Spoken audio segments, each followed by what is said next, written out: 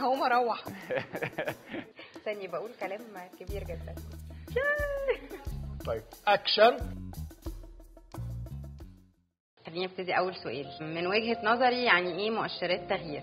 مؤشرات التغير بالنسبة لي هي كل علامة وإشارة بشوفها على طريقي وأنا ماشية كل يوم في شغلي تخليني أفكر في المستقبل بطريقة مختلفة.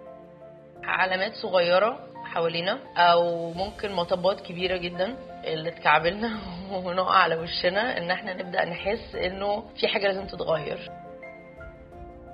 العلامات دي ممكن تبقى very obvious واضحة جدا وساعات بتبقى سطل أو مش باينة قوي وبعدين فجأة بنلاقي الدنيا اتغيرت حوالينا. إيه المؤشرات اللي أنا شايفها آه، بتحصل حواليا المتوقع يبقى ليها تأثير على مستقبل التنمية.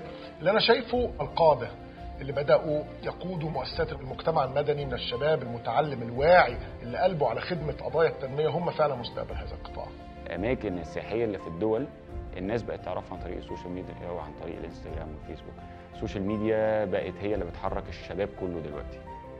الطريقة التقليدية لأساليب العمل المتبعة لا يمكن تستمر بالشكل اللي بتستمر بيه. توجه ناحية telemedicine والعلاج التليفوني والتعليم التليفوني وتدريب الدكاترة بالتليفون. وجهة نظري إن بقى في تركيز أو رجوع للأساسيات في التعليم. إنه الأسئلة اللي بتجيلي أسئلة بتعيد نفسها.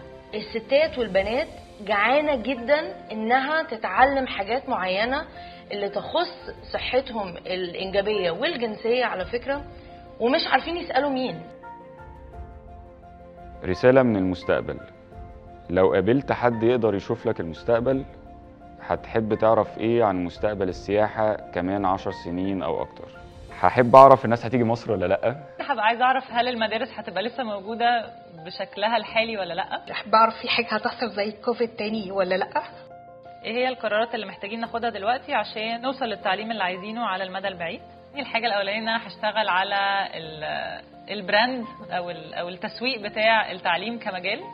الواحد يبقى عايز إن هو يشتغل فيه. لازم نركز قوي وبسرعة نفرمل هجرة الدكاترة بره مصر. لازم ندربهم بشكل أحسن. لازم نديهم فرصة يتعلموا أحسن. لازم نرفع مرتباتهم. لازم نعمل ثورة وطفرة في بناء قدرات ال- العمالة لأنه التكنولوجيا دي أداة. في الآخر. لكن محتاجة ايدي عاملة ماهرة قادرة فعلا إنها تحركها بقى في الاتجاه اللي إحنا عايزينه. المشاكل دي كلها محتاجة تجارب. تجارب مبنية على الأدلة مش تجارب مبنية على النية الحلوة وبس. ونشوف أثر التجارب دي على حياه الأفراد ونادجست ونعدل من مساراتنا بسرعة جدا لغاية ما نوصل للنتيجة المطلوبة. من وجهة نظرك إزاي ممكن المجتمع والناس يساهموا في تطوير سيناريوهات ناجحة للمستقبل؟ كون ان الناس بدأت تكتسب العلم ده. إحنا بنمسح بقى بالاستيكة كل المفاهيم الخاطئة اللي كانت بقالها سنين منتشرة. بصوا على هذه الكيانات based on impact ما تبصوش حتى خدموا كام. بصوا خدموا إزاي. كلنا لينا دور. وكلنا لازم نلعب الدور ده مع بعض. محتاجين نهتم إن إحنا نروح ونصور ونحكي عن الأماكن ونحكي عن تاريخنا ونحكي عن الأماكن السياحية اللي موجودة عندنا. التطور سريع.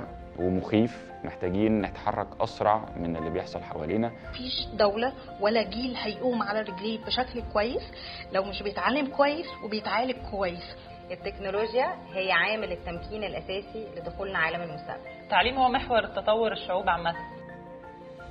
العلم وقاية من حاجات كتير جدا جدا ممكن نمنعها لو عندنا التوعية والعلم ده. إحنا دورنا الأساسي إن إحنا ما نسيبش حد ورانا.